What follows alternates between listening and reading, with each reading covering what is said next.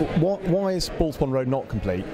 We asked it because it's, uh, it's pertinent to what the question was asked earlier. It's it's across two boroughs, so the road is is, is an Islington road. Um, there's a lot of work that needs to be done. I'm told to the signals on Balls Pond Road to enable Balls Pond Road. But as far as I'm concerned, as far as Hackney is concerned, it's a scheme that has to go ahead to complete the CS1. Um, in terms of the the Whiston Road um, scheme, no, the the, the current the health for streets um, indicators would not have been used to assess that.